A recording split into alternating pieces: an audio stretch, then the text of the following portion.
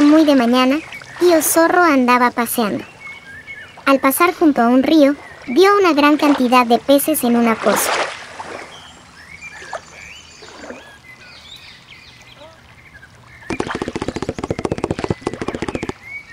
Entusiasmado, se puso a pescar y eran tantos los peces que en muy poco tiempo pescó tres hermosas guabinas.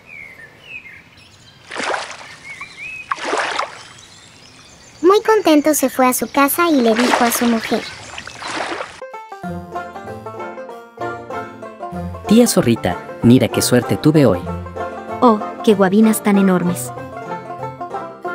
Sí, son tan grandes que bastará una sola para cada uno de nosotros. Por eso he pensado en convidar a tío Tigre a almorzar, conviene tenerlo siempre de amigo. Como tú digas, querido tío zorro. Freiré con mucho esmero las guabinas, quedarán muy ricas. Ve a invitar a tío Tigre. Tío zorro se frotó las manos satisfecho y salió en busca de tío Tigre. Tía zorra se puso a preparar los pescados. Cuando estuvieron bien fritos, era tan delicioso el olor que murmuró. Voy a probar la guabina que me toca a mí, a ver si ha quedado bien de sal. Un pedacito nada más, pues sería muy feo se me la como antes de que llegue tío zorro con el invitado. Comenzó a pellizcar el pescado y lo encontró tan sabroso que se olvidó de cuánto había dicho. En pocos segundos el plato quedó limpio. Estaba deliciosa. Es necesario que pruebe la de tío zorro, él es muy delicado y si la guabina suya no está bien frita, seguro que se molestará. Se comió la cola tostada, luego la aleta, después la cabeza y, cuando se dio cuenta, toda la guabina de tío zorro había desaparecido. Dios mío, me la he comido entera. Ya no importa que me coma también la última. Pero el daño ya estaba hecho, y se la comió también.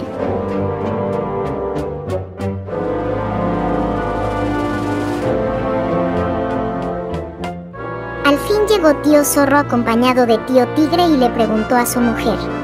¿Has preparado las guabinas? Claro que sí. Las tengo todavía puestas al fuego para que no se enfríen. Sírvelas pronto, que tenemos mucho apetito. ¿Verdad, tío tigre? Indudablemente, tío zorro, con ese olorcito a pescado frito que hay aquí. Siéntese allí, tío tigre, por favor. Gracias, tío zorro. Tío tigre se sentó y tía zorra llamó aparte a su marido.